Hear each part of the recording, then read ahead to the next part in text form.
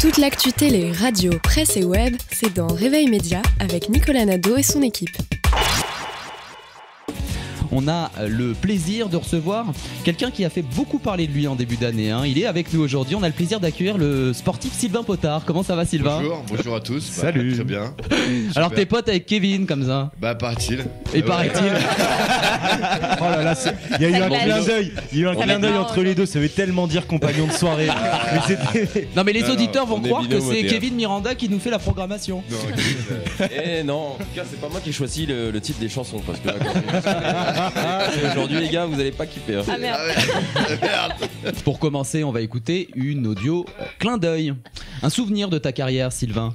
Romain va poser une question à notre équipe. On va faire un petit tour euh, de table à elle seule de deviner, parce que toi, tu sais sûr que tu sais euh, Ouais. de quoi il s'agit. La bonne réponse J'espère. va donner lieu à ce sonore. Alors, je suis pas sûr qu'ils connaissent vraiment la réponse. Vous allez voir parce que c'est un extrait un peu, un peu spécial. Alors, notre invité, c'est un champion de MMA, de free fight, d'arts martiaux, de tout ce que vous voulez. Mais sa notoriété récente, il la doit euh, aussi et notamment grâce à son apparition dans le calendrier des dieux du stade. C'était l'année dernière. Il y a une des- de ses photos entièrement nues avec euh, bah, son appareil à la vue de tous, qui a fait beaucoup, beaucoup de bruit à la Appareil télévision. dentaire, euh, Oui, appareil. euh, On veut dire sa bite, quoi. Vous savez qu'il Voilà, est- on essaye, on essaye de garder un peu de etc. J'aime bien comment il est tout gêné. Appelons les choses comme elles sont. Mais par exemple, pour vous donner une idée, Roselyne Bachelot, elle avait euh, même été, entre guillemets, émoustillée par votre trompe d'éléphant. Ah. C'est comme ça qu'elle avait dit, hein, je fais que citer Roselyne. Et donc, vous étiez invité par, euh, par téléphone euh, aux grosses têtes sur RTL, l'émission de, de, de Laurent Ruquier, Ouais. et ça n'a pas manqué de faire réagir les chroniqueurs. À votre avis, laquelle de ces réactions est vraie? Est-ce que Karine Le Marchand a dit qu'il avait une grande bite? Est-ce que Pierre Bénichou a dit c'est ça, c'est ce que je donne à manger à la mienne tous les matins Ou est-ce que Chantal Latsou a dit c'est énorme, on dirait une banane Eh ben, on écoute Chantal tout de suite la bonne réponse. judoka qui s'appelle Sylvain Potard et qui fait parler de lui depuis. Il est dans le calendrier. Il a une grande bite. C'est ça le grand truc C'est ce que l'on a mangé à la mienne tous les matins. C'est énorme, on dirait une banane.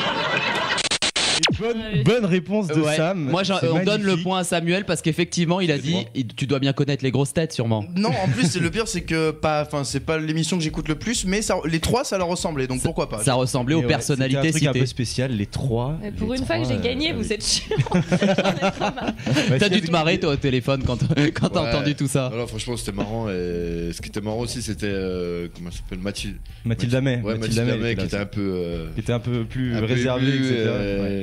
c'était rigolo. Quoi. Ouais.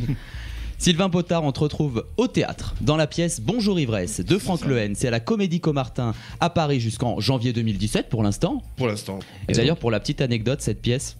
Ça fait peut-être 50 fois qu'on en parle dans Réveil Média. On a eu Léa François, on a eu Caroline Ouais. Gagé, euh, on avait eu Lola euh, Barbara Ligard, qui Et maintenant. toujours pas venu, mon pote. Et- Ah ouais Lui, il attend les invités, hein, ça Ah si, moi, ah, si, si. Je, je l'ai pas vu sur scène, mais moi, de- à l'époque de Caroline Gagé, j'y sais, Ah, c'est vrai, il y a longtemps. Ah ouais, il y a longtemps. Ouais. euh, puis ça fait, ça fait des années qu'elle se joue. Il y a Ouais. des milliers, et des milliers, et des milliers de spectateurs. hein, C'est une pièce quand même Ça fait 6 Euh, assez populaire. Ouais, Est-ce que ça t'a permis d'avoir d'autres propositions? Bah pour l'instant, euh, des petites touches euh, dans des, des séries, euh, donc euh, voilà, des petits projets qui arrivent.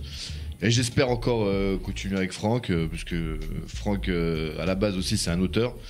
Et je sais que voilà, il aime écrire, il, Ouais, aime, il est aussi sur d'autres projets. il aime nous faire plaisir. Et je pense que voilà, on va voir. Ouais, dit comme ça, c'est un peu chelou. Ouais. C'est vrai. Mais lui, ça va pas le déranger. Ah.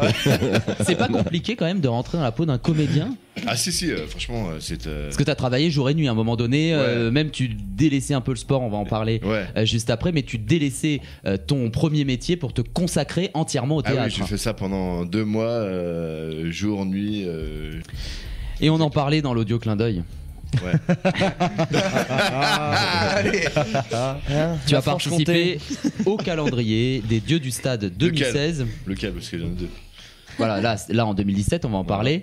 Euh, mais tout a commencé en 2016, cette année. Euh, on rappelle quand même que les fonds, en dehors de, de tout ce buzz, que les fonds quand même sont versés à l'association Oui. Le Cancer du Sein, Voilà, parlons-en. l'oublier. Bon, et l'une de tes photos entièrement nues a déclenché ce véritable buzz. Hein. T'as été euh, vraiment fait- médiatisé. C'est à vous, le grand 8. euh, Ouais, ouais, mais Enfin, je me les dis que ça grosses euh, enfin, ça fait Un dîner à l'Elysée. ça fait 16 ans. Enfin, ça fait peut-être ouais, 20 ans euh, que je fais du sport euh, de haut niveau. Hmm.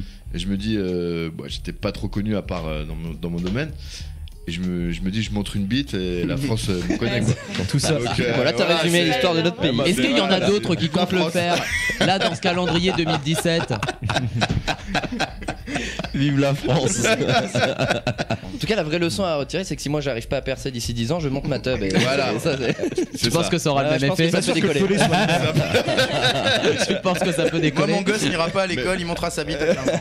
Mesure-la un peu avant. euh. Parce que c'est pas, c'est pas le fait de mon- la Non, c'est montrer. vrai. Je pense que euh, c'est bon, voilà. Tu Faut sais, qu'on la avec. Photoshop, on fait des choses magnifiques. Ah, c'est- c'est- Regarde mon affiche. J'ai- Mais ça t'a permis de participer aussi au casting de l'émission, de l'émission Ninja Warrior aussi. Ninja Warrior, ouais, c'est Donc, ça. euh, grâce à tout ça, ça t'a amené Ouais, quand ouais, même non, mais, à euh, je que participer à dire la France a un incroyable talent. Alors, je dois dire D'ailleurs, quand il y même. avait- l'année dernière, il y a un mec qui a peint avec sa bite. Oui. Incroyable talent. Ouais, c'est- Ouais, un collègue, un collègue. Un collègue. Du coup, toi, tu peux rester chez toi à distance. Je dois dire, Nico, que le- la passerelle que t'as faite entre être euh, montrer sa Bon, faut bite et pas faire oublier, Ninja euh, Warrior, quelle c'est quand même assez génial. Sachant qu'il y a des trucs comme s'agripper, etc. Oh là là. Ouais, calmez-vous, il y a une fille avec nous aujourd'hui. En Euh, dehors, en dehors de tout Désolé. ça, parce que c'est vrai que les, les émissions en rigolent, on l'a vu aussi dans les, dans les grosses têtes. Est-ce que toi, à un moment donné, ça a pu te blesser Ce que les gens ont pu dire dans des émissions, à se moquer de cet élément, de cet aspect? Parce que là, on en rigole, c'est vrai qu'on Ouais. écoutait cet audio clin d'œil aussi où ils en rigolaient. Ouais. Non, non, moi je suis très se- second degré. euh, Tu sais, moi, les, C'est bien. les choses, ça me passe au-dessus de moi. En même temps, Il y a tu des te doutais un plus petit peu importantes que dans ce la vie. buzz euh, allait. euh, Et J'avoue que non, non, moi je, je kiffais de, qu'on rigole de moi, que je. pff, moi, tu sais, c'est rien qui me. J'imagine ce qui, m'atteint. ce qui doit être drôle, c'est de à chaque fois de on te présente, mais on te présente sous un autre angle. Ouais, en parlant c'est toujours de la ça. même chose, mais sous voilà. un autre angle. C'est C'est ça, comment en on va, fait, c'est il y avait la des- comment on gêne, va l'amener. Il y a la gêne ça, des gens, ça doit être très très drôle. à- à Il y avait des variantes à chaque fois, mais bon, on revenait toujours au, au principe. Roselyne Bachelot avait euh, réagi. Est-ce qu'elle t'a appelé depuis alors On aimerait bien voir la suite de cette histoire. Ah bah Roselyne, c'est c'est une copine maintenant. Roro. c'est Roro. Non, Roselyne, c'est. Moi je pense que c'est- c'est la grand-mère qu'on aimerait tous savoir quoi. Oh, la pauvre. tu vas moins la faire kiffer là. On me signale que Roselyne Bachelot est décédée. Non, mais c'est vrai. Je pense que voilà, c'est c'est c'est- c'est une femme, une. Je pense euh, voilà avec. Voilà, euh, rattrape-toi, avec- vas-y, vas-y, vas-y, essaye. Pédale, pédale. vie. Non non non, non franchement c'est super sympa et drôle, euh, voilà.